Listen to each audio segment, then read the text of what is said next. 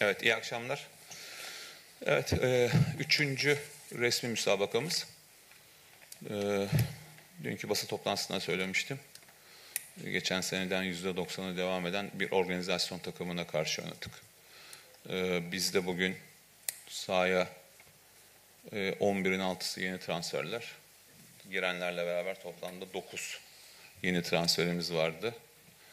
E, ilk yarısı oyunun e, rakip organizasyonu daha iyi uyguladı.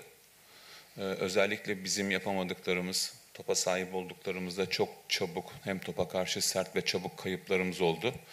Çabuk kayıplarımız olunca da e, o baskıları yapamadık. Rakip iyi bir organizasyonla üstümüze geldi. İki tane pozisyonu var. Şutları da var birkaç tane ama ne baktığında iki tane pozisyon gözüküyor. Bizim de duran toptan bir tane Dansville'in kaçırdığı var. İkinci yarıda bir bölümünde, büyük bölümünde oyunu dengeledik ve topa sahip olarak organize bir şekilde gelmeye başladık. Ne yazık ki bizim kaçırdığımız şekilde de duran topun devamında top dışarı giderken kafasına sıyırma gelip yediğimiz gol var. Sonrasında girdiğimiz, öncesi ve sonrasında bizim de girdiğimiz iki tane, iki, iki, iki buçuk pozisyon var. Ee, ve kaybettik. Ee, evet, e, oyun ilk yarı itibariyle değildi. İkinci yarı bir bölümü doğru bir oyun organizasyonu vardı ama sonuçlandıramadık. Kazanmak istiyorduk. Taraftarlarımız buraya gelmişken onları mutlu etmek istiyorduk. Bunun için üzgünüz. Ee, bunu kapatıp 3 gün sonra lig başlıyor. Deplasmanda Sivas maçı oynayacağız. Döndükten sonra da önümüzdeki hafta rovanşı için daha sağlıklı konuşmak. Belki bir maç daha oynayıp biraz daha çalışıp biraz daha organize e, olarak hareket edebiliriz. Onun için üzgünüz, özür diliyoruz. Ee, rakibi tebrik ediyoruz. İyi, oyun anlamında. Hayır tabii. Yani Biz bu, böyle gözledik evet. Bu oyun tabii organizasyonu çok tekrarla e, olan bir şey. Biraz evvel dediğin gibi rakibin geçen seneden %90 oyuncu grubu devam ediyor. Yani ortalama o 40 maç oynamışlarsa bu şekilde biz şu an itibariyle toplamda resmi olarak 3 maç oynadık ve yeni yeni aramıza katılanlar var. Bu organizasyonlarda zaman zaman tıkınlık oluyor. Bizim ilk yarı itibariyle zaman zaman e, baskılarımızı yapamadık. Baskılarımızı yapamayınca organize olan bir takım bizi topun peşinde koşturdu. Yüksek şiddette koşumuz oldu ama topa sahip olamadık. Olduğumuzda bu sefer çabuk kaybettik o yüksek nabızda olduğu için. İlk yarıda bunu yapamadık. İkinci yarıda yapamadıklarımız üzerinden görüntülerle desteklediğimiz e, bir e, video görüntüsü de oldu. Orada biraz daha e, doğru bir dağılım, e, doğru opsiyonları kullandık. Rakip gibi pozisyonumuz var ama oyun istediğimiz gibi olmadı. Ee, rakibin işte duran topun devamına yediğimiz golle de mağlup olduk. E, Orsic ile ilgili söyledim maçtan evvel basın toplantısında. Orsic, Orsic biliyorsunuz bir senedir sakat. Ee, hazırlık maçlarında çok az süre aldı. Geçen hafta itibariyle de oturup uzun süre bir kahve içip toplantı yaptık.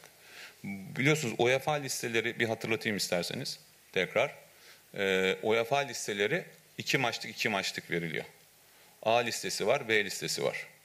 A listesinde 8 tane Türk'ün 4 tanesi kendi akademinden yetişmiş olması gerekiyor. 4 tanesi de Türkiye şartlarından olması gerekiyor. Eğer 8 tane olmuyorsa, 6 tane oluyorsa 25 kişilik listeye 22 veriyorsun, 23 verebiliyorsun.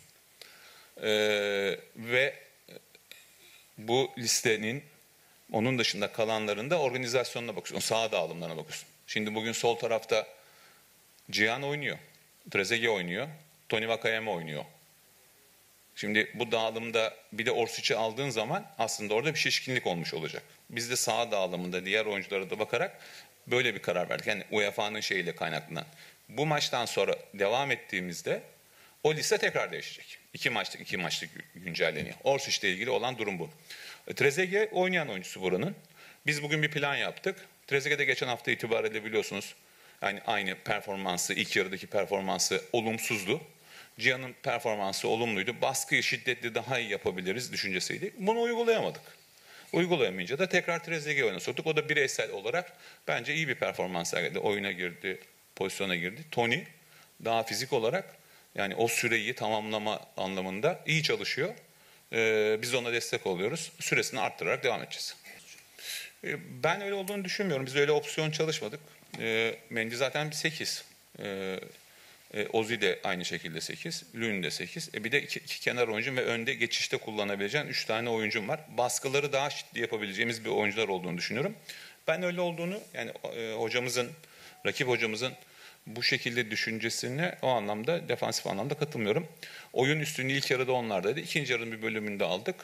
Biz duran toptan kaçırdık. Onlar attı. Onların da 2-3 pozisyonu var. Bizim de 2-3 pozisyonu var. Ama bizden daha organize bir takım. Onu bir gerçeği de söylemek lazım. Başka soru var mı? Teşekkür ederim. E, Trabzonspor'un oynadığı her müsabakada Trabzonspor tabii ki tehdittir. E, olacaktır da. Yani bir müsabaka daha oynayacağız ve daha bir 5-6 tane daha antrenman yapacağız. E, oyunun anları süreleri vardır. Kötü oynarken bazen öne geçersin. Oyunun seyri, gidişatı değişebilir. Onun için e, hocanın dediklerinin bir bölümüne tabii ki iyi organize bir takım. Geçen seneden %90'ı devam ediyor e, sürecin. Biz de bunu daha hızlandırmaya çalışıyoruz. Az kazanacağımız maçlar bunu hızlandıracaktır diye hep bunu ifade de ettim size. Onun için her tur geçtikçe de e, rakipler de daha zorlaşacak. Bunu da e, ifade etmiştim. Bugün böyle bir gündü. Ama buradan çıkacağız zihinsel ve fiziksel. Üç gün sonra ligimiz başlıyor. Orada kazanarak e, tekrar e, devam edeceğiz. Biz Avrupa'da e, bunu sonuna kadar Avusturya'da zorlayacağız. Zor, orada e, umarım bunun karşılığını alırız. Alamazsak da Avrupa'da bir şekilde devam etmek istiyoruz. Başka soru var mı? Teşekkürler. İyi akşamlar. İyi akşamlar.